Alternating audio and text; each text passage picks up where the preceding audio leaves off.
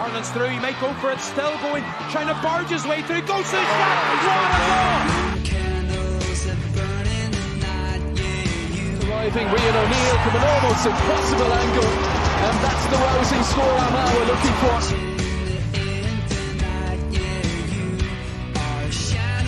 Conor Turbitt kicks this one in. Oh, that's absolutely superb.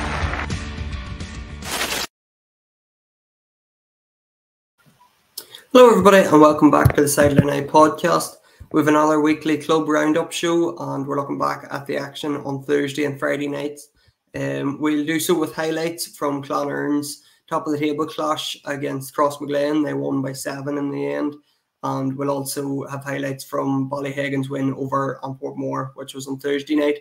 And coming up at the end, so spoke to James McCormack after that game, the Ballyhegan captain. So um, we have an interview with him coming up at the end of the show too. So as usual, we'll start with the Division 1A action. And the main event was in Clann Eireann on Friday night. And Clann Eireann overcame Crossmaglen by seven points in Friday's top of the table clash in Division 1A. The sides were evenly matched for long periods, but it was Conor McConville's late goal that widened the gap in the end. Crossmaglen got the game up and running with the first two scores of the day before the home side opened their account with a pointed free. Ronan Fitzpatrick slotted over a point to restore their two point advantage. Conor McConville responded at the other end with a pointed free, which was soon cancelled out by Crossmaglen centre half back Callum, Callum Comiskey. Clann Eireann's own centre halfback charged up the field on the final score of the half, and that was Shay Haffron, who made it 4 3 in favour to the Rangers at half time. Garvin Carher grew that lead at the start of the second half before Aidan McConville pointed for the home side. Cross could have been further ahead, but for a fine penalty save um, from the Clann Eireann goalkeeper. Emmett McGee then shot forward to th- tie things up before Conor McConville gave the host the lead for the first time with a point. The sides continued to trade scores, leaving one point the difference um, before Clann Eireann really took control of the game. The reigning league champions finished with a flurry, rattling off the final 1 3 of the day. McConville slotted home the game's only goal with the final kick to put his side two points clear at the top of the table. Elsewhere, goals from Aaron McKenna and Niall Smith handed Modern a 2 11 to 08 win over Dromintee on Friday night, while on Thursday night, Granemore grabbed their first win of the season. It was a late pointed penalty from Jason O'Neill after Ryan Roberty had been fouled that saw them past Killeavy, not 11 to not 10. So that leaves Clann Eireann um, on 20 points and two points clear at the top of the Division 1A league table. Crossmaglen remain in second place. They're on 18 points, although they have played a game extra than the league leaders. Silverbridge are in third place. They didn't play this weekend and they have 13 points, while Killeavy are just below that on 11 points. The Harps and Modern are both on 10 points in fifth and sixth position, although um, the Harps didn't play this weekend either. Granemore, as I said, they picked up their first win, but they still sit in seventh place and they're on four points, while Dromintee are at the bottom there on two points. Um, so that's the Division 1A roundup on results in 1B then. Um, Mullaghbawn grew their lead at the top of the Division 1B table as they saw off Ballymacnab by the minimum of margins on Friday night. The sides were level a number of times throughout the contest, but the home side edged ahead when it mattered at the end of the game. Jack Grugan shot over the first score of the game before the nab hit the net. Grugan's effort dropped short, but Don O'Toole was on hand to capture possession and raise the game's first green flag. Mullaghbawn responded with a goal of their own at the other end through Cormac Smith, while Niall, Niall pointed to tie the game. Cormac McKee slotted over a mark and Aidan Toner both swapped scores with Fergal O'Brien as the sides headed into the break level 1 3 apiece. Pierce Hughes and Jack Rugen got the knob up and running for the second half before Ryan Kelly and Finian Maguire traded points. Rory McCann and Daki, uh, sorry, Niall Loy both split the post to level things up once again. O'Brien and Maguire exchanged efforts while Loy and Tiernan Murphy handed Mullaghbawn a two point lead. Um, and Pierce Hughes and Jack Rugen converted dead ball efforts, but the winning chance fell to Niall Loy, who landed a huge free to see his side ahead 110 to 1 9 at the full time whistle. Sarsfields and Maghery couldn't be separated on Friday night as they earned a share, share of the spoils. Sarsfields looked to have done enough late on, but Niall, Mac- McAleenan kicked the final score to see the game finish level. The home side shot into an early three point lead before Matthew Mackle opened Maher's account. A second from Mackle and a, free from Niall McAleenan levelled the game with a few minutes left before the break. Colin Stevenson nudged the Haymoss men in front before Eamon and Oisín Cushnahan traded scores. That saw Sarsfields ahead at half time um, with the minimum margin, the difference not 5 to not 4. Cushnahan levelled the game for Maghery at the start of the second half before trading dead ball efforts with Michael McKenna. McGowan and Cushnahan also cancelled each other out, as did Colin McCann and Niall McAleenan. Another Cushnahan free edged Maghery ahead before two from Stevenson and McKenna put Sarsfields ahead um, by one point during added time. There was one chance left, however, and McAleenan raised the final white flag of the night to see the sides finish all score not 10 each. Cullaville earned a two point home win over St Peter's on Friday evening, not 9 to not 7. Clan na Gael were huge winners over Cullyhanna, 4 9 to not 10, with Jack Lavery hitting the net twice and Brendan O'Hagan and James Austin also um, raising green flags. So that leaves Mullaghbawn remain at the top of the table with 17 points. They also they have four games left, while most of the teams have either two or three games left. Clan na Gael are on 15 points in second place, with Cullyhanna just below them on 11. And Cullaville and Maghery are also on 11 points, so that's um, places 3, 4, and 5 uh, Cullyhanna, and Maghery all on 11 points. St Peters are just above their relegation zone in sixth position. They're on nine points, while Ballymacnab have eight and Sarsfields have six at the bottom of the Division 1B league table. In Division 2A, then, Carrickcruppen remain at the top of the Division 2 2A table following their convincing win over Grange on Friday night.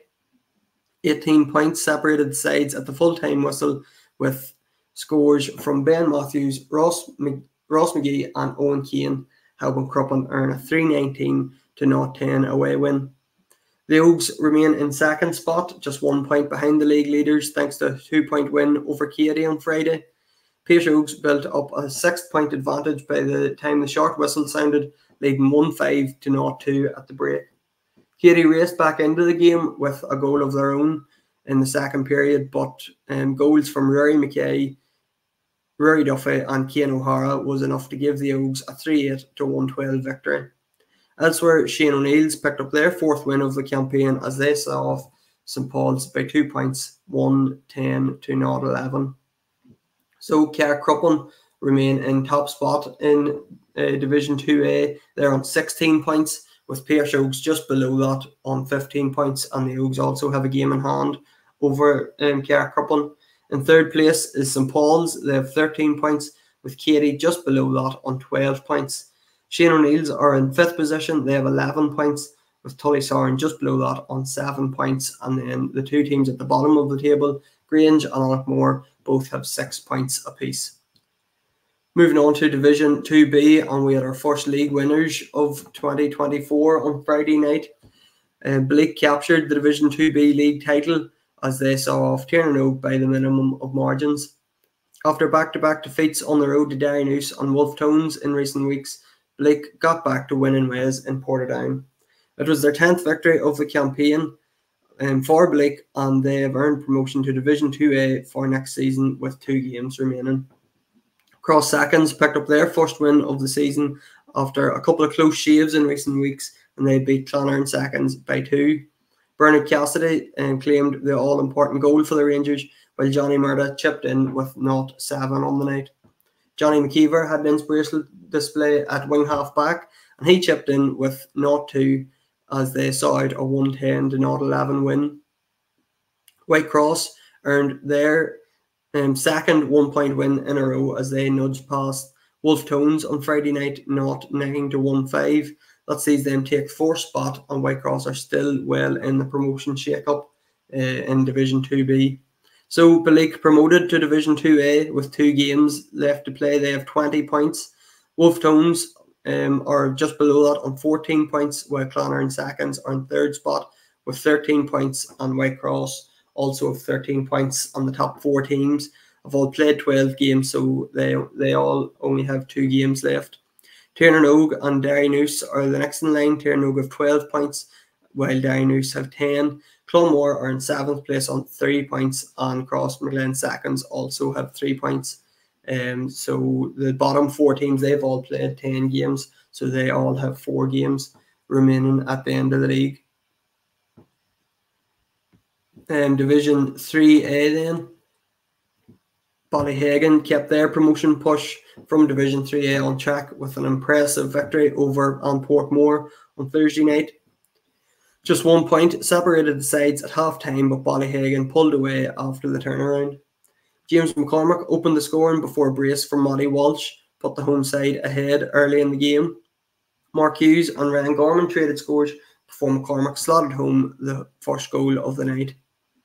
Cormac Kieran, who should have had a goal himself but saw his effort rattle the bar, traded scores with McCormack and James McCann. Walsh and Connor knew tie things up before James P. McKeever put Ballyhegan ahead at half time 1 5 to 0 7. A double from McCormack, along hmm. with Hughes' second, saw the away team stretch their lead to four at the start of the second half. Jude Lavery pulled one back for Portmore, but it was cancelled out at the other end of the field by Kevin McCallan. James P. McKeever then raised a second green flag for Ballyhegan, while Gorman and McCormack exchanged efforts. Paul McCallan claimed a third goal for Ballyhegan after coming into the action as a second half substitute, while Gorman and McCormack traded scores in the final few minutes. On Friday night, Forkhill rattled off seven goals to overcome Lissummon by just four points, and that saw them retain their spot at the top of the table. Shane Mackel kicked not seven for Lissummon, while Darren Hughes claimed their major, but Forkhill saw out a 7 3 to 117 victory. A second half goal from Marty Moan helped keep Middletown in um, the promotion hunt with their eighth victory of the campaign. They saw, saw off Eire on home turf by nine points, 111 to not 5. Collegeland also picked two points, picked up two points on Friday night, beating St Michael's not 17 to not 12. In that leaves the table then in Division 3A. Forkhill remain at the top of the table, having played 12 games. They're on 18 points. Ballyhegan have also played 12 games and they have 17 points. While just below that, Middletown have 12 points. Sorry, they have 16 points from 12 games. So just a few points separating um, the teams at the top of the table. College Land have jumped to fourth. They're on 11 points, with Portmore just below that on 10, and Og have 9 in sixth position. St Michael's and Lissummon are the two bottom teams in Division 3A, and St Michael's have 7 points, while Lissummon are currently sitting at the bottom of the table on 6. In Division 3B, then, Thomas Davis um, picked up another win in their Division 3B 1 campaign, and they continued their winning form. They overcame Redmond O'Hanlon's not 13 to 1 7 to confirm promotion to Division 3A for next season. St Peter's bounced back from last week's defeat to O'Hanlon's and they travelled to Dorsey on Friday night.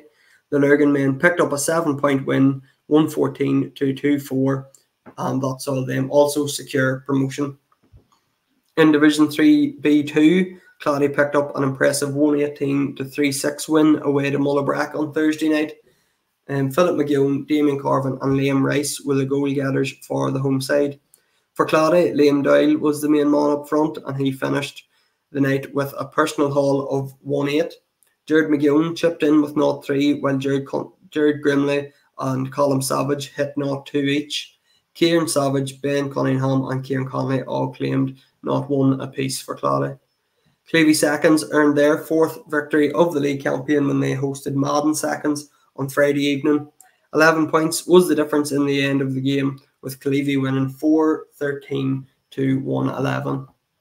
So that's all the scores of the games on Thursday and Friday. There is a, another game, a Division 1B game to be played on Monday night. Mullaghbawn host um, Cullyhanna in a refixed game. So we'll hear from James McCormack now. Spoke to him after Ballyhegan beat Portmore on um, Thursday evening. And just before we, we finish up, um, congratulations to the Armagh Camogues. They put in another impressive shift today and they beat um, Wicklow at home 9 18 to 2 5 to keep their winning run intact on their top of the table, um, joined with Tipperary. And also, best luck to the Armagh Minors. They're taking on in Mayo in Longford tomorrow in the All Ireland semi final. It's the first time an Armagh side has got that far at that grade since 2009 when they went on to win the All Ireland. So hopefully the boys can do well tomorrow and get into the All Ireland final.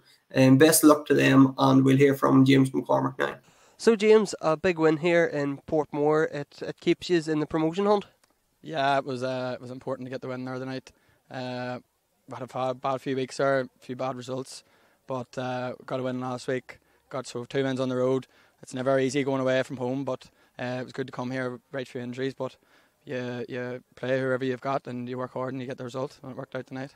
And the, the way the league is, James, probably just momentum's huge because you've had a great start, as you say, dipped for a couple of weeks, but you are sort of back on track now. Yeah, we had a, we had a brilliant start, uh, and then uh, first six games we went very well. They were nip and tuck some of them games, some of the games you pulled away, and then one bad result, and it looks bad. Like then you got three or four bad results, but you turned around. Momentum's a big thing, and there's a few other teams now on a good run. And they had a poor start to the start of the league, like. But uh, hopefully we take it into the last three games, and you just keep on building, take game by game, and see where it brings it. Like it's a very very tight league, like. Yeah, I was, I was just about to say that yourselves, Forkhill and uh, Middletown are all at the top of the table. It looks like three teams taking two promotion spots. Like it's going to come down to the wire. It's uh, no, it's definitely nip and tuck. Like uh, we beat Forkhill away a few few weeks ago up there, and then they came to our pitch, and uh, they, they were far better team on the night. Like the just really cut through us, but uh, and then Middletown, very good team. We got a late goal against them. Uh, so it's, it's it's just whoever gets the last score, whoever gets momentum, as you say. Uh, but it's a very tight league. Like it's just one point, one point separating everyone. I know we played the end of the night, so puts maybe a bit of pressure on the teams tomorrow night. Uh, we have a wedding tomorrow, so we had to play it tonight. So we'll hopefully have a good weekend, and we'll be watching the results to see how that goes tomorrow night. And because because it's so tight, James probably every point counts. Every if, even if it maybe comes down to score difference, like literally every point on the field counts. So like it's just about taking it game by game at this stage uh, for the last couple of weeks. Oh, it definitely is. Yeah, it's like we were there. Maybe we had a college down. It was a bad Sunday there last week, and it ended up a draw. But felt hard done by maybe. Uh, but that's that's the that's the game. Like you need to you need to take your chances. Someone faults but your own. So uh, every point counts. You don't want to be conceding too many points, and then you don't want to lose the league and score difference. So uh, no, it's definitely it's tight, but it's good. Like there's three teams there, so you know you have to go out and win every game. It's like championship. You're, you're going out like a championship final every game, and you have to win them. Like so, it makes the league exciting and every game exciting. Like. And just before you go, James, um, I'll ask you about Peter McGrane, who's obviously broken into the Armagh team this year. Now I know you would love him out here and, and playing for in the blue of Ballyhegan, but he's playing some stuff for Armagh. I'm sure you're all delighted to see him doing so well. Oh no, he's he's uh, he's some athlete, some footballer, like, and he's put some graft into Armagh. Now he's getting his reward, like, and he's showing what he can do. Uh, there last year against Clonmore specifically uh, in the championship semi final, he was unbelievable that night, like, uh, and now he's showing it at the county level, and he's he's he's just playing unbelievable. So no, it's brilliant to see. You'd love to have him in the blue jersey. Hopefully, have him back for championship, and he'll do the same. But no, he deserved he deserves what he gets because he's put hard work in. There's no you'll not get a harder trainer or more a man more dedicated to the cause. Like so, he's a brilliant player to have here and, a brilliant player to have for Armagh. Like. Great, James. Thank you. No problem. Thank you.